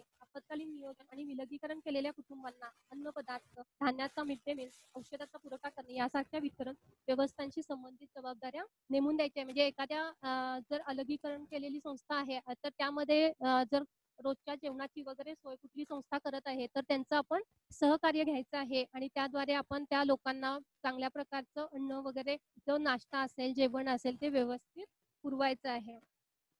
त्यांना एएनएम एन एम आशा रुग्णवाहिका आणि इतर वैद्यकीय मदत यांच्या संपर्काचे तपशील ज्या जे विलगीकरणामध्ये राहतात त्यांना आपल्याकडची योग्य माहिती दिली पाहिजे. म्हणजे कुणाशी काय प्रॉब्लेम आला तर कुणाशी कॉन्टॅक्ट करायचं या संबंधित नंबर वगैरे द्यायचे आहेत. मुलांवर झालेले मानसिक आघात व हिंसाचार यासारख्या समस्या सोडवण्यासाठी बाल सुरक्षा समितीच्या समन्वयाचे तपशील द्या. म्हणजे वेगवेगळे कॉन्टॅक्ट जेणेकरून ते अशा परिस्थितीमध्ये कुणाशी कॉन्टॅक्ट करायचं याचे फोन नंबर वगैरे त्यांना माहिती द्यायची आहे. कुटुंबासाठी आपत्कालीन संपर्काची यादी तयार करा. प्रत्येक कुटुंबाकडे आपत्कालीन परिस्थितीत कुटुंबीय मित्र परिवार शेजारी तसेच अन्नधान्य औषधे वैद्यकीय मदत यासारख्या आवश्यक सेवांच्या संपर्काचे अद्ययावत तपशील असल्याचे सुनिश्चित करा. म्हणजे त्या कुटुंबाकडे सर्व प्रकारची माहिती पाहिजे. त्याच्या शेजारचे नंबर माहिती पाहिजे. त्याचे मित्र परिवार कोण आहे? कोणत्या वेळेला त्यांना कशाची गरज लागेल हे सांगता येत नसतं. त्यामुळे त्यांच्याकडे औषधाची अन्नधान्य म्हणजे जे एखादं किराणा मालाचं जे दुकान असेल त्याचा कॉन्टॅक्ट नंबर वगैरे सर्व माहिती तयार पाहिजे. तर आपण आता एक केस स्टडी बघूया. गेली कितीतरी वर्षे बाबूलाल त्याचे ट्रॅक्टर भाड्याने देत आहे गावातील अनेक लोक त्याला ओळखतात परंतु बाबूलालला सर्दी आणि ताप आल्यामुळे सध्या लोकांनी त्याचे ट्रॅक्टर भाड्याने घेणे थांबवले आहे. ही गोष्ट तुमच्या कानावर येते तेव्हा तुम्ही बाबूलालशी बोलता. तेव्हा तो सांगतो की लोक त्याला पाहून रस्ता बदलतात. त्याच्याशी किंवा त्याच्या कुटुंबियाशी. अगदी मुलांशी देखील दूरध्वनीवरून देखील बोलत नाहीत. लोकांच्या अशा वागण्यामुळे त्याने गाव सोडून त्याच्या शहरातील घरी जाण्याचा निर्णय घेतला आहे. पण ही भूमिका योग्य आहे का?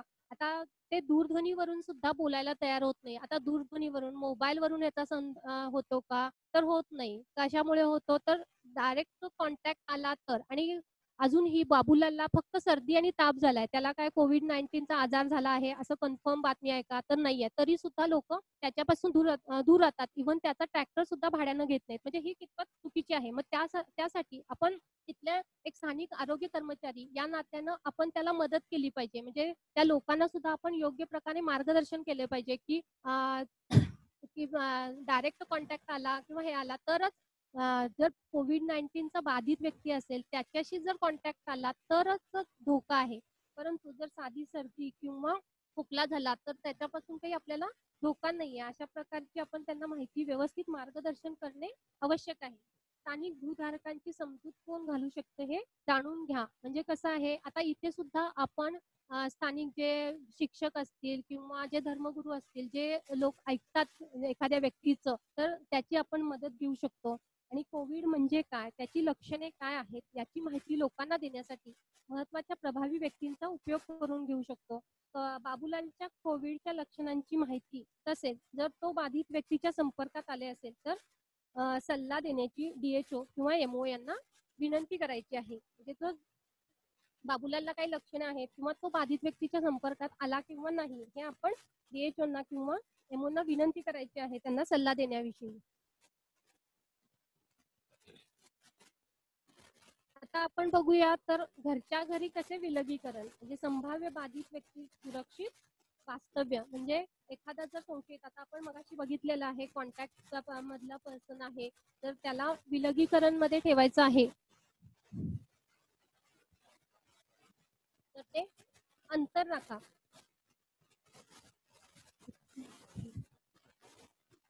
तुमच्या घरातील हवेशीर असलेल्या विशिष्ट खोलीत आणि कुटुंबातील इतर लोकांपासून दूर राहा. मर्यादित हालचाल ठेवा. उपलब्ध असल्यास स्वतंत्र स्वच्छतागृह वाप वापरा. म्हणजे काय करायचं आहे? जर एखाद्या घरच्या घरी विलगीकरण म्हणजे काय करायचं आहे? तर एखादी विशिष्ट रूम घ्यायची आहे आपल्या स्वतःसाठी जी जेणेकरून इतर व्यक्तींच्या संपर्कात इतर घरातीलच इतर व्यक्तींच्या संपर्कात येता कामा नये. मग त्या रूमला जर अटॅच संडास बाथरूम वगैरे असेल तर चांगली गोष्ट आहे. कारण जेणेकरून घरातील इतर व्यक्ती ते वापरणार नाहीत. म्हणजे ती व्यक्ती स्वतः वेगळी राहीलच आणि बाकीच्यांना सुद्धा त्याची काही त्याच्यापासून काही संपर्क किंवा धोका असणार नाहीये. घरी पाहुण्यांना निमंत्रित करणे टाळा. जर तुम्हाला संसर्ग झाला असेल तर त्याची लागण इतरांना होण्याची शक्यता असते. जर तसं काही वाटलं आपल्याला लक्षणे? तर शक्यतो आता ह्या काळामध्ये घरी पाहुण्यांना वगैरे बोलवायचेच नाही कोणताही कार्यक्रम वगैरे आयोजित करायचा नाही. जेणेकरून ह्याचा प्रसार आपल्याला रोखायचा आहे की त्यामुळे जर ही चेन तुटली तरच आपण त्या आजारापासून मुक्त होणार आहे. त्यामुळे शक्यतो जेवढं टाळता येईल तेवढा संपर्क टाळायचा आहे. त्यामुळे आपणहून तर कुणाला पाहुण्यांना बोलवायचं पण नाहीये किंवा आपणही कुठल्या पाहुण्यांच्या घरी वगैरे जायचं नाहीये.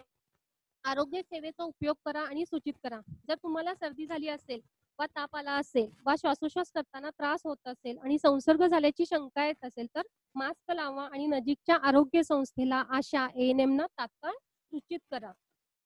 म्हणजे जर आता विलगीकरणामध्ये एखादी व्यक्ती राहत असेल तर त्याला सुरुवातीला जरी लक्षणे नसतील परंतु नंतर जर लक्षण वाटत असतील थोडीशी जरी सर्दी वाटत असेल किंवा काहीतरी शंका येते श्वासोश्वास करायला त्रास होतोय दम लागतोय तर लगेच मास्कचा वापर सुरू करायचा आहे आणि लगेच आपल्या एन एम आशाला स्वतः डायरेक्ट जर त्या व्हिजिटला आल्या तर सांगायचं आहे किंवा फोनवरून त्यांना माहिती द्यायची आहे. सार्वजनिक ठिकाणी जाणे टाळा कामावर शाळेत बाजार किंवा चित्रपटगृह यासारख्या सार्वजनिक ठिकाणी जाऊ नका. सार्वजनिक वाहतूक वाहतुकींच्या साधनांचा वापर टाळा. म्हणजे आता आपल्याला घरामध्ये विलगीकरणासाठी ठेवलेलं आहे तर ते कशासाठी ठेवलेलं आहे? फक्त घरातल्यांशी संपर्क ठेवायचा नाही म्हणून ठेवलेलं नाही तर बाहेर सुद्धा आपण जायचं नाहीये. नाहीतर आपण घरात वेगळं ठेवणार आपल्या घरातल्या लोकांना काही संपर्क होऊ नये म्हणून. परंतु जर बाहेर फिरत असेल तर ते फार धोकादायक आहे. कारण बाहेरच्या व्यक्तींना सुद्धा तुमच्यापासून संसर्ग होण्याची शक्यता आहे. त्यामुळे सार्वजनिक वाहतुकींच्या साधनांचा वगैरे वापर टाळायचा आहे. लोकांमध्ये वावरताना तसेच डॉक्टरांच्या दवाखान्यात जाताना चेहऱ्यावर योग्य रीतीने मास्क लावा. नेहमीच आता लोकांच्या मध्ये वावरताना आणि आपण दवाखान्यात दाखवायला वगैरे गेलो असेल तर मास्क वापरायचा आहे. घरामध्ये शुश्रूषा करताना काय काय काळजी घ्यायची आहे तर संभाव्य संक्रमित व्यक्तीच्या घरातील कुटुंबियांना घ्यावयाची खबरदारी. तर सुरुवातीला काय आहे? तर मदत. कुटुंबातील नेमून दिलेल्या सदस्याने संसर्ग झालेल्या व्यक्तीला डॉक्टरांनी दिलेल्या औषधाबाबतच्या सूचनांचे पालन करण्यासाठी मदत करावी व त्याची शुश्रूषा करावी.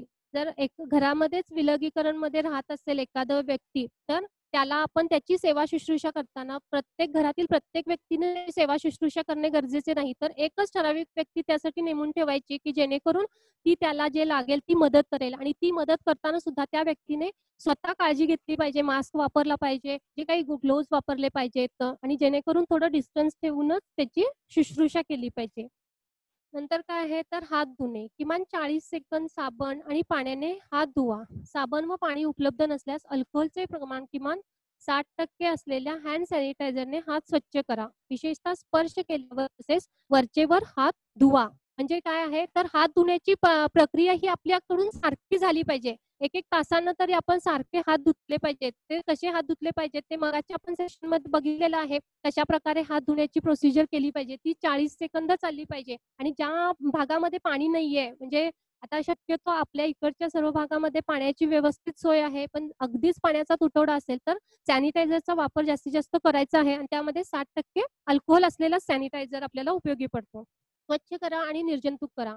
काउंटर टेबलाचा वरचा भाग दाराच्या मुठी स्वच्छतागृहातील नळ शौचालय मोबाईल कीबोर्ड टॅबलेट पलंगा शेजारचे टेबल्स यासारखे सर्व सतत स्पर्श होणारे पृष्ठभाग दररोज स्वच्छ व निर्जंतुक करा.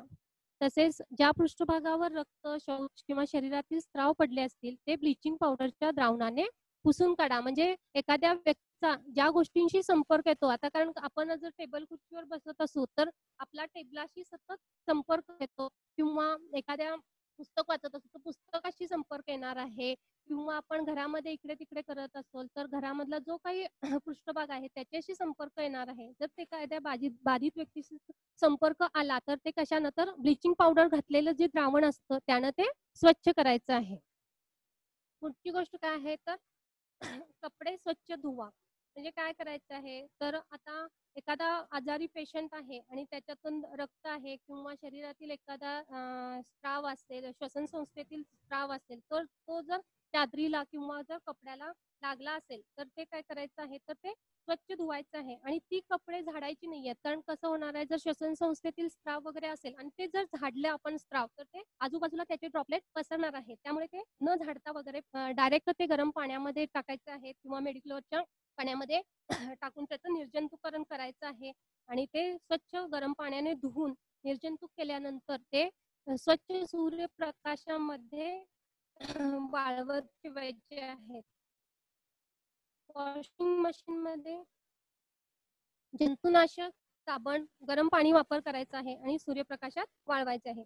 एका मोठ्या पिंपात गरम पाणी व साबण एकत्र करून त्यात चादरी बुडवा पाण्याच्या अंगा थेंब अंगावर उडून न देता काठीने ढवळा. झिरो पॉईंट झिरो पाच टक्के क्लोरीनच्या द्रावणात अंदाजे सुमारे तीस मिनिटे चादरी बुडवा. शेवटी स्वच्छ पाण्याने खळखळून धुवा आणि सूर्यप्रकाशात पूर्णपणे वाळवून द्या. म्हणजे काय करायचं आहे? हे सुद्धा आपल्याला अगदी डिटेलमध्ये इथं सांगितलेलं आहे. कारण आपण कसं करणार? नेहमीसारख्या त्या चादरी किंवा कपडे धुवायला जाणार. परंतु कसं होणार आहे? त्याचा आपल्या हाताशी संपर्क येणार आहे. जर ती कपडे आपण टाकत असताना तर ते कसं करायचंय? तर लांबून ते टाकायचं आहे आणि काठीनं वगैरे ढवळायचं आहे जेणेकरून त्याचे जे थेंब आहेत पाण्याचे थेंब किंवा ते जे श्वासन मार्गातील स्त्राव असू दे ते त्या पाण्यामध्ये वगैरे पडणार आहे आणि त्याचं जर थेंब आपल्या अंगावर वगैरे उडू नयेत याची आपण काळजी घेतली पाहिजे. सर्व डिस्पोजेबल हातमोजे चेहऱ्याचे मास्क आणि इतर दूषित वस्तू जाड अस्तराच्या डब्यात टाका आणि नंतर घरातील इतर कचऱ्यासोबत टाकून द्या. म्हणजे जे डिस्पोजेबल हातमोजे असतील मास्क असतील ते ऍक्च्युली प्रथम त्याच्यावर निर्जंतुकरण त्याचं करायचं आहे आणि नंतर ते कचऱ्याच्या सोबत टाकून द्यायचं आहे. संसर्ग झालेली व्यक्ती हिंडती फिरती किंवा हंतरुणाला खिळलेलीही असू शकते.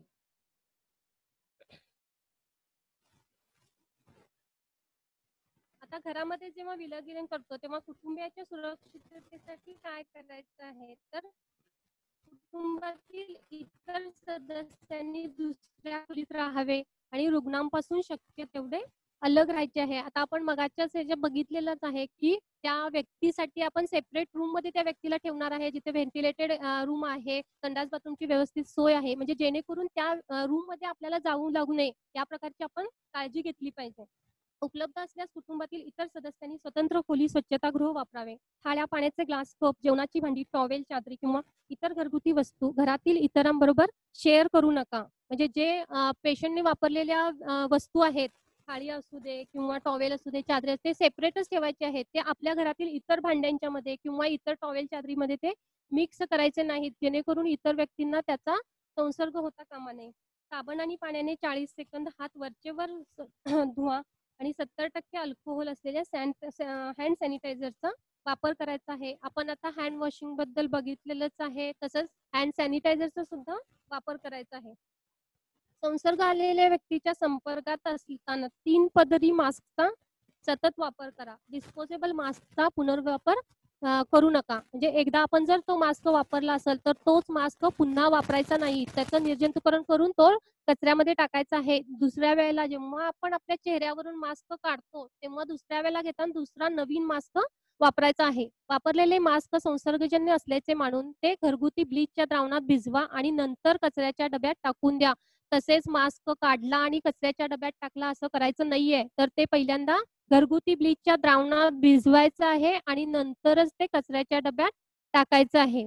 लहान मुलांना मास्क बरोबर खेळू देऊ नका. आता हे सांगण्याची गरज का आलेली आहे? कारण आता आपण बघतो प्रत्येक जण मास्क लावून हिंडत असतो. त्यामुळे छोट्या मुलांना सुद्धा कुतूहल वाटतं की हा मास्क कसा आहे काय आहे बघावा. मग एखाद्या व्यक्तीने जर काढून ठेवलेला मास्क असेल आणि तो काढून ठेवलेला मास्क संसर्ग असण्याची शक्यता आहे आणि तो जर एखाद्या लहान मुलाने वापरला तर तो हाय रिस्कमध्ये येण्याचं शक्यता आहे. म्हणून लहान मुलांना मास्क बरोबर खेळू द्यायचं नाहीये. त्यांच्यावर चांगलं व्यवस्थितरित्या लक्ष द्यायचं आहे.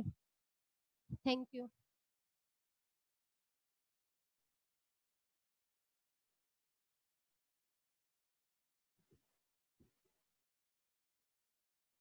hello doctor Deepak Pawar hello doctor Deepak Pawar join झाले आहेत का?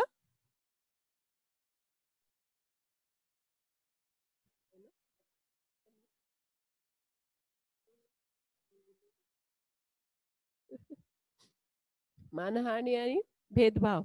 हे मानहानी म्हणजे काय? किंवा मानहानीमुळे मानहानीमुळे कोणते परिणाम होतात? हे आणि फ्रंटलाईन कर्मचारी काय करू शकतात त्यात हे आपल्याला बघायचं आहे. मानहानी आणि भेदभाव ह्यात कोरोना व्हायरस हा नंतर अच्युत आजार सारख्या असल्यासारखा होईल आणि सगळेजण आपल्या करोना पेशंटची मानहानी करतील त्याला कोणी जीवनाची आवश्यक वस्तू सुद्धा देणार नाही. त्यामुळे कोणत्याही साथीच्या रोगाचे लोकांवर ताण येणे आणि त्याची काळजी वाटणे स्वाभाविक आहे. कारण त्यांना खालील गोष्टींची भीती वाटत असते. प्रत्येक भागातल्या प्रत्येक माणसाला खालील गोष्टीची भीती आहे की आपल्याला आजारी पडणे किंवा मृत्यू होणे आरोग्य संस्थांमध्ये गेल्यास तेथील उपचारादरम्यान संसर्ग होईल या भीतीची तिथे जाणे टाळणे त्यांच्या म्हणजे ज्या लोकांना कोरोना आहे त्या पेशंट जवळ जाणे टाळणे त्या उपजीविका मुकणे अलगीकरण हातून काम न होणे म्हणजे अलगीकरण आहे त्यामुळे त्याचं कुठलंही बाकीचे काम त्याच्याकडनं होत नाहीये. रोगाच्या संसर्गात असल्यामुळे समाजापासून अलग केले जाणे आणि विलगीकरणामध्ये ठेवणे याची भीती असते त्याच्या मनात. आणि त्यामुळे तो तुमच्यापासून दूर जाऊ शकतो आणि तो उलट न तुम्हाला कधीच माहिती पडू देणार नाही. आणि त्यामुळे आपल्याला हे टाळायचं आहे. आणि तो गावात फक्त पसरवत राहणारे आजार. अलगीकरणामुळे आणि आणि विसंबून असलेल्या व्यक्तींची काळजी घेता येत. म्हणजे जर त्याच्यावर विसंबून असलेल्या लोकांची त्याला काळजी घेता येत नाही आणि त्याला एकटंच राहायला लागतं हे सगळ्या भीती असल्यामुळे ते माणसं त्या गोष्टीनं ताण त्यांच्यावर येतोय रोगाच्या साथीमुळे. त्यामुळे त्यांना विलगीकरण किंवा मानहानी तर त्यांच्यावर कुठल्याही प्रकारचं बर्डन पाडायचं नाही. सगळ्यांना हे सांगायचं की काळजी करायची नाही. फक्त वेगळं राहायचं आहे. कारण तुझं समाजात तू सातशे माणसांना जर तुम्ही गावभर फिरला तर तुम्ही सातशे माणसांना हा पसरवणार आहे. मानहानी का होते? कारण कोविड नाईन्टीन ही संबंधित मानहानी करण्याची पातळी खालील दिलेल्या तीन मुख्य घटकांवर आधारलेली आहे. नवा हा नवा रोग आहे ज्यावर संशोधन सुरू आहे. त्यामुळे याबद्दल कोणालाही पूर्णपणे माहिती नाही आहे. जेव्हा अगदी अज्ञान असते तेव्हा लोकांच्या मनात चिंता असते आणि त्याचे भीतीत रूपांतर होते. आणि शिवाय अफवा आणि खोट्या बातम्या. तुम्ही आता बघताच व्हॉट्सअपवर किती खोट्या बातम्या पसरताय आणि त्यामुळे माणसाच्या मनात भीती निर्माण होते. मानहानी ओळखायची आपण. कर्मचाऱ्यांनी ट्रिपल एने भागात जाऊन आपल्या लोकांच्या कोणात मानहानी अशी होते का ते ओळखायची आहे. किराणा मालाच्या दुकानात आहात तुम्ही आणि तिथे लोक मास्क लावून लावून आलेले आहेत. आणि तुम्हाला मालक दिसतोय आणि जो खोकतोय पण मास्क लावलेला नाही. तेव्हा तुम्ही त्याला सांगणं गरजेचं आहे. असे काही एक्झाम्पल आता आहेत त्याच्या नंतर सुखराम आहे तर पुण्याहून घरी परत आलेला आहे आणि पुण्यात पुण्याला टॅक्सी चालवतोय. तो एकत्र कुटुंबात राहतो आणि तुमच्या सल्ल्यानुसार तो कुटुंबाला बाधा करू शकतो. त्यामुळे तुम्ही त्याला कुटुंबापासून वेगळं राहण्याची म्हणजे होम क्वारंटाईन करण्याची त्याला सल्ला द्यायला पाहिजे. नंतर एक मुलगी आहे ब्युटी नावाची ती दिल्लीमध्ये घरकाम करते. आणि मग तिचे मालकिणीने तिला कामावून काढून टाकलं. म्हणजे तिला हे पण माहीत नाही की तिला आजार आहे की नाही. तर थोड्याशा कारणामुळे तिला घरावरनं काढून सर्दी झाल्यावर तिला घरातनं का कामावरनं काढून टाकलं. हे पण चुकीचं आहे. अशा प्रकारची मानहानी आपल्या भागात होणार नाही. याची काळजी सर्व अशा अंगणवाडी वर्कर आणि ए एन एम ने घ्यायची आहे. नंतर सुराली आहे अकरा वर्षाची मुलगी आहे. तिच्या आई वडिलांचे अलगीकरण केले. आणि ती एकटीच मुलगी आहे तिला आठ वर्षाचा भाऊ आहे. आणि तिच्या आत्याला त्यांना दोघांना बघायला लागते. आठ वर्षाच्या मुलाला आणि अकरा वर्षाच्या मुलीला. कारण आई वडिलांना अलगीकरण केलंय. ते कुठे मुंबई मुंबई दुबई प्रवास करून आले म्हणून. आणि मग त्याची सतत आत्या तक्रार करते. असे मानहानीचे प्रकार तुम्हाला भागात घडू शकतात. आणि त्यामुळे हे सगळे आपल्याला टाळायचे आणि त्यांना व्यवस्थित समजावून सांगायचे नेक्स्ट मानहानी काय होते? तर लोक त्यात अडचणी लपवून ठेवतात. म्हणजे मानहानी काय होणार आहे?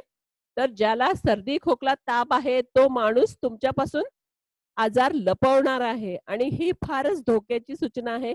जर त्यांनी आजार लपवला तर तो भागात पसरवत आहे. त्यामुळे आपल्याला कुठल्याही प्रकारची मानहानी होणार नाही याची काळजी घ्यायची आहे. म्हणजे कुठलाही माणूस तुमच्यापासून कुठलाही आजार लपवणार नाही याची काळजी घ्यायची आहे. लोक आरोग्य सेवा आणि मदत घेण्यापासून दूर राहतील. म्हणजे जे आजारी आहेत ते घरात झोपून राहतील आणि कुठल्याही प्रकारची आरोग्य सेवा घेणार नाही कारण त्यांना वाटतंय की त्यांना तुम्ही अलगीकरण कराल त्यांना आयसोलेशनला ऍडमिट कराल. पण हाच एक उपाय आहे आणि यानेच तो बरा होणार आहे. हे त्यांना समजून सांगणं गरजेचं आहे आणि कुठल्याही प्रकारची मानहानी कुठल्याही भागात आपण कारणीभूत व्हायला नको याची काळजी घ्यायला पाहिजे.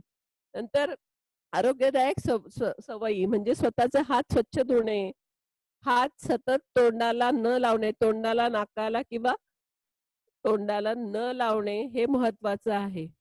नंतर तुम्ही फ्रंटलाईन कर्मचारी म्हण काय करू शकता याच्यात? तर आपण याच्यात सर्व जनजागृती करू शकतोय. कोरोनाचा साधा संसर्ग हा ऐंशी टक्के लोकांना सौम्य लागण असते. म्हणजे कोरोनाचं इन्फेक्शन झालं तरी सत्तर ते ऐंशी टक्के माणसांना काहीही लागण्याचे कुठलेही म्हणजे सर्दी खोकला किंवा दम्याचा आजार दिसून येत नाही. आणि हे त्यांना समजावून सांगायचे की तुला जरी कोरोना असला तरी तो कळणार नाही आणि नंतर मग एकदम चौदा दिवसानंतर सिरियस झाल्यावरच कळेल. त्यामुळे त्यांनी व्यवस्थित स्वतःची काळजी स्वच्छता राखणे आणि अलगीकरण राहणे गरजेचं आहे. नंतर कोविड नाईन्टीन कोणालाही होऊ शकतो. त्यात हे सांगणं गरजेचं आहे. त्यात गरीब श्रीमंत कुठलाही भेदभाव नाही.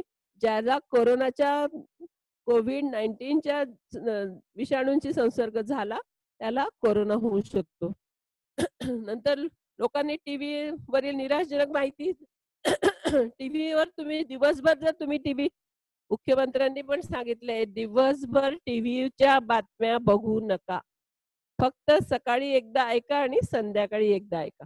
कारण तुम्ही दिवसभर जर टीव्हीच्या बातम्या ऐकल्या तर तुम्हाला सगळ्या प्रकारचं मानसिक तणाव येणार आहे आणि सगळ्या प्रकारचे तुम्हाला वेगवेगळ्या घटनांचा आढावा होत नाही आणि मग त्याचा सगळ्या समाजात त्रास होतो. आणि त्यामुळे सगळ्या आपल्या कर्मचाऱ्यांचं हे काम आहे की हा साधा आजार आहे. यात स्वच्छता स्वतःच्या हाताची आणि तोंडावर मास्क आणि अलगीकरण सामाजिक अंतर एक मीटर अंतर तीन फुटाचं अंतर. हे महत्वाचं आहे हे सतत सांगत जायचंय आपल्याला भागात आणि सगळ्या फ्रंटलाईन कर्मचाऱ्यांनी हे काम करायचं आहे. सगळ्या तरुण मंडळ आहे सगळे सामुदायिक संघटना यांना त्यांच्या माध्यमातून ज्येष्ठ नागरिकांची सेवा सुविधा उपलब्ध करायची. सगळ्या तुमच्या भागातल्या अशांच्या हजारी किती ज्येष्ठ नागरिक आहेत त्यांची सगळ्यांची काळजी तुम्हाला घ्यायची आहे. त्यांना सगळे त्यांना सतत तोंडाला त्यांनी घरातनं बाहेर जायचं नाही ज्येष्ठ नागरिकांनी. एवढं सरांनी सगळं जगाने सगळं बंद केलंय आपल्या कोल्हापूर जिल्ह्याने. सगळं वाहतूकपासून सगळं बंद आहे सगळे व्यवहार बंद आहे. तेव्हा वयस्कर लोकांना तर बिलकुल घराच्या बाहेर पडू द्यायचं नाही. ज्येष्ठ नागरिक आणि लहान मुलांच्या अति जोखमीच्या गटाची विशेष काळजी घ्यायची आहे. नंतर एक उदाहरण दिलंय. या गावातील एक घटना आहे. सुरेश घरातील विलगीकरणामुळे असताना त्याला पत्नीला बाळांपणाच्या बाळंत वेळ वेळा सुरू होतात. म्हणजे बाळंतच्या कळा सुरू होतात. आणि प्रसूतीसाठी तिला रुग्णालयात न्यायचे असते. आशाने सुरेशला